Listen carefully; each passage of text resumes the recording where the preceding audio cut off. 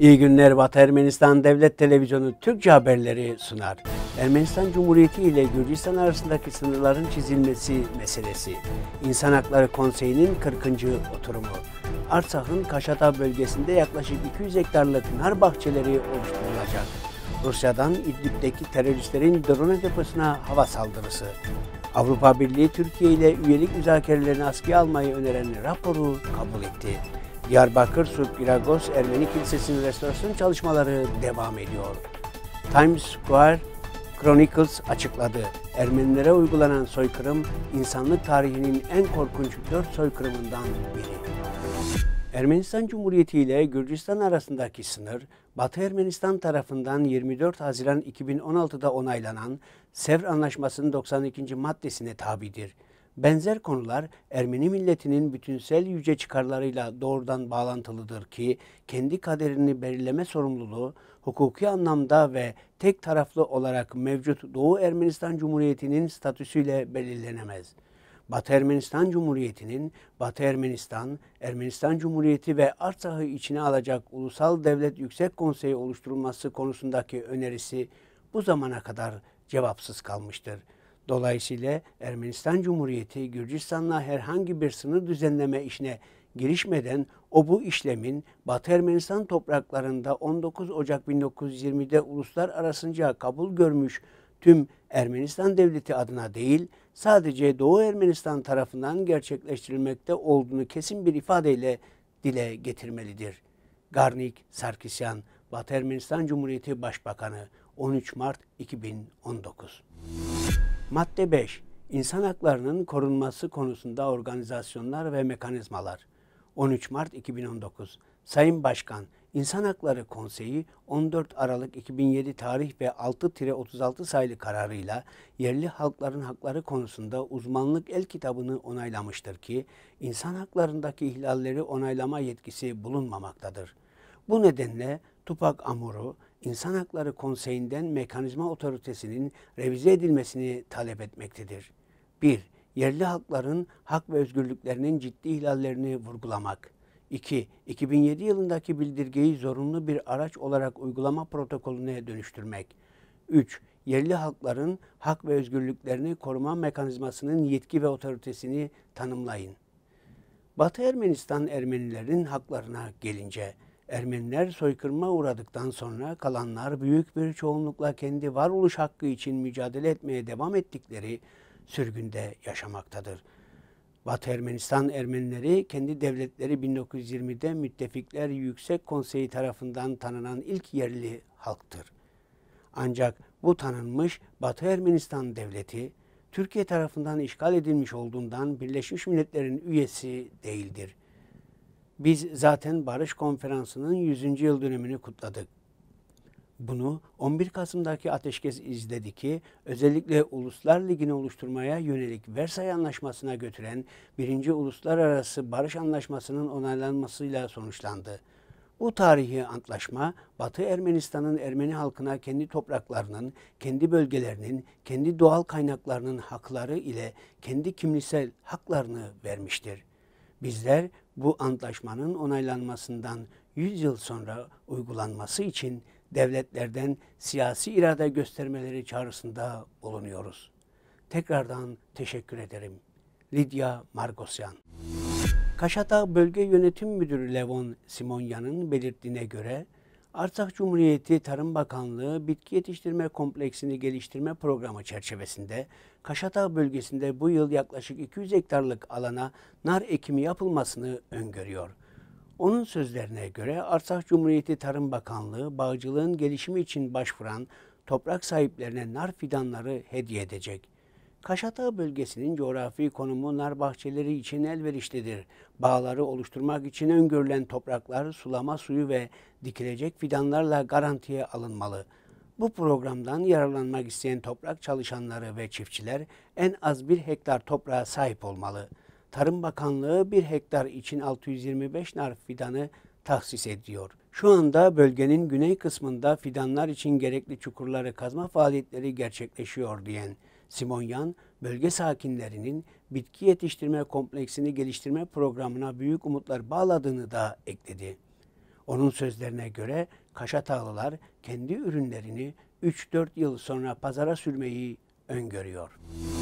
Rus savaş uçakları Suriye'de Heyet Tahrir Şam'ın drone ve diğer silahlarını sakladığı silah deposuna hava saldırısı düzenledi. Rus savaş uçaklarının bölgedeki teröristlere ait bir silah deposunu vurduğu kaydedildi. RIA haber ajansının aktardığına göre saldırı Heyet Tahrir Şam örgütüne karşı düzenlendi. Saldırıda örgütün drone ve diğer silahlarını bulundurduğu silah deposunun hedef alındığı belirtildi. Savunma Bakanlığı'nın açıklamasına göre Heyet Tahrir Şam bu silahları Suriye'nin batısında bulunan Hımeymim'deki Rus hava üssüne düzenlenecek bir saldırıda kullanmayı planlıyordu. Avrupa Parlamentosu Türkiye raportörü Kati Piri'nin Avrupa Birliği'nin Türkiye ile katılım müzakerelerini askıya almasını öngören raporunu kabul etti. Karar 109'a karşı 370 oyla kabul edilirken 143 üyede çekimser oy kullandı. Piri'nin sunduğu raporda üyelik müzakerelerinin askıya alınması çağrısına gerekçe olarak Türkiye'deki ağır insan hakları ihlalleri gösterilmişti. Raporda Avrupa Birliği'ne ise Türkiye'nin demokratlarıyla dayanışma içinde olduğunu göstermesi çağrısı yapılmıştı. Avrupa Birliği'nin yasama organının aldığı kararlar ancak tavsiye niteliği taşıyor. Bağlayıcılığı bulunmuyor. Avrupa Parlamentosu da kabul edilen raporu hazırlayan Kati Piri, Ankara ile üyelik müzakerelerinin askıya alınması çağrısını Türkiye'de son dönemde hukuk devleti ve insan hakları koşullarındaki ihlallere yanıt olarak değerlendirdi ciddi insan hakları ihlallerine, hukukun üstünlüğü ilkesinin içinin boşaltılmasına ve Türkiye'nin cezaevinde en fazla sayıda gazeteciye sahip olduğu gerçeğine ek olarak yakın zamanda gerçekleştirilen anayasa değişikliği de Erdoğan'ın otoriterliğini pekiştirdi. AKP sözcüsü Ömer Çelik de Avrupa Parlamentosu'ndaki oylamayla ilgili olarak bizim açımızdan değersiz, hükümsüz ve itibarsız bir karar yorumunda bulundu. Ermeni Surp Giragos ve Keldani Marpetyun kiliselerinin Çevre ve Şehircilik Bakanlığı'nca sağlanan kaynakla restorasyonuna başlandı. Zarar gören cemaat vakıflarına ait iki kilise 15 milyon lira kaynakla restore ediliyor. Diyarbakır Amit'teki Surp Giragos Kilisesi Orta Doğu'nun en büyük Ermeni kilisesidir. Büyük yenileme çalışmaları sonrası 2011'de kilisenin kapıları yeniden açılmıştı. 32 yıllık bir aradan sonra Kasım 2012'de ilk kilise törenini gerçekleştirdi. Aynı gün kilise ilk düğüne de ev sahipliği yaptı. Surp Girakos Kilisesi'nin yenileme çalışmaları Konstantinopolis'te Ermeni Patrikhanesi'nin maddi desteğiyle gerçekleştirildi. 2015 yılında Diyarbakır'da faşist Türk hükümetinin Kürtlere karşı savaş açması sonucu yerel kiliseler ciddi zarar görmüştü. Times Square Chronicles açıkladı. Ermenilere uygulanan soykırım, insanlık tarihinin en korkunç dört soykırımından biri. ABD kaynaklı Times Square Chronicles gazetesi 1915'te Ermenilere uygulanan soykırım dahil insanlık tarihinin en korkunç dört soykırımları konu aldı. Makalenin ön sözünde tarih korkunç olaylarla doludur. Haklı çıkarılması asla ve asla mümkün olmayan soykırımlar ise bunların en kötüleri. Ama buna rağmen genellikle siyasi grupların inisiyatifi ve eliyle bu olaylar gerçekleşmeye devam ediyor. Demek ki bu korkunç olaylar herhangi birinin onları durdurmak için verimli bir yöntem buluncaya kadar devam edecek ifadelerine yer verildi. Ermenilere uygulanan soykırıma dair kısmında ise 1,5 milyon kişinin canını alan soykırımın modern insanlık tarihinin ilk soykırımı olarak resmen kabul edildiği hatırlatıldı. Bu vahşet sonucunda kurbanların sayısı daha fazla olabilirdi. Ancak bu 1,5 milyon Ermeni halkının %50'sini oluşturuyordu. Kitle katliamının ilk hedefi sağlıklı erkeklerdi. Türkiye bugüne kadar bu suçun bir soykırım olduğunu kabul etmeyi reddediyor denildi. Times Square Chronicles insanlık tarihinin en korkunç dört soykırımlarını şu şekilde andı.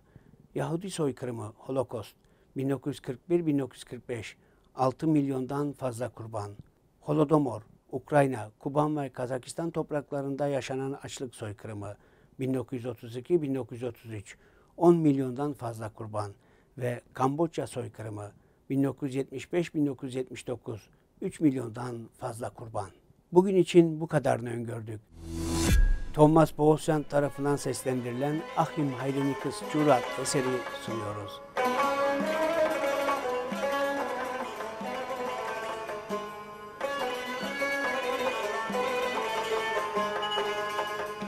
Verkistevus beganin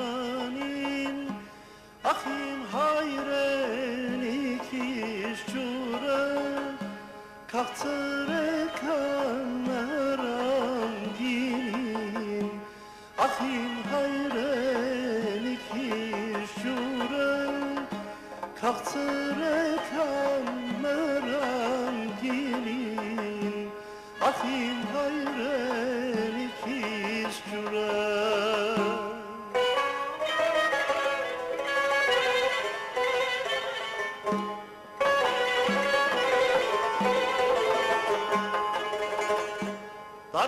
Darmençeren o dar yerdirin Ahime fiyen